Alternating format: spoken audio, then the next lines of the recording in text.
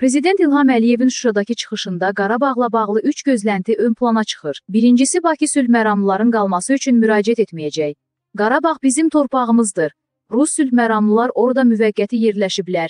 2020-ci ilin 10 noyabr bəyanatında onların müddəti göstərilir və əgər kiməsə bel bağlayırlarsa, yenə də faciə ilə üzləşəcəklər. Əliyev burada iki mesaj verir. 1. Ermənistana sülh məramlıların 5 ildən sonra çıxacağını və buna uyğun davranmağı tövsiyə edir. 2. Sülh məramlılar 5 ildən sonra çıxarılacaq. Proseslərin inkişafının bu məsələyə təsiri olacağı istisna deyil. Lakin Bakı artıq indidən sülh məramlıların qalma müddətinin uzadılması üçün müraciət etməyəcəyinin anonsunu verir. Bunun sülh məramlıların müddətinin uzadılması məsələsinin müzakirə edildiyi Soçi görüşündən sonra dilə gətirilməsi də diqqət çəkən məqamdır.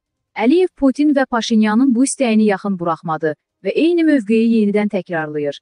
İkincisi, erməni silahlı dəstələrin Qarabağda çıxarılması istiqamətində praktiki addımlar atıla bilər. Erməni silahlı qüvvələri Qarabağda nə gəzir? Bizim səbrimiz tükənməz deyil və bir daha xəbərdarlıq etmək istəyirəm.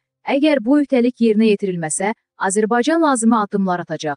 Əliyev erməni qoşunların tam çıxarılmasını tələb edir və antiterror əməliyyatının ola biləcəyinin mesajını verir. Fərrux qisas əməliyyatlarını da buna nümunə olaraq göstərir. Bu mesajı əvvəlkilərdən fərqləndirən məqam son baş verənlərdir. Xankəndindəki təxribat mitinqi Laçın dəhlizi ilə silahın daşınması faktının gündəmə gəlməsi, orduya separatçıların hərəkətinin izlənilməsi tapşırığı fonunda Əliyevin dedikləri praktiki addımların atılması gözləntisini artırır. Üçüncüsü, Azərbaycan əskəri Laçın dəhlizinə enə bilər. Zəngəzur dəhlizi Ermənistanın öhdəliyidir, öz üzərinə öhdəlik götürüb. Biz iki il ərzində Laçın yolu ilə Ermənistandan Qarabağa və əks istiqamətə gedən maşınlara toxunmuruq. Biz öhdəlik götürmüşük, yerinə yetiririk sərbəst hərəkət.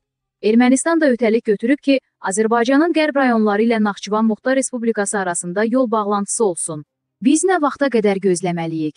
Bakı Ermənistanın Naxçıvana maneəsiz keçidin verilməsi öhdəliyini yerinə yetirməməsinə qarşı Qarabağdakı ermənilərin istifadə etdiyi Laçın yolunun toxunulmazlığının pozulacağına işarə edir. Soçi görüşündən sonra orataya çıxan dəhlizdən silah-sursatın daşınması faktı bu istiqamətdə əsaslar yaradır.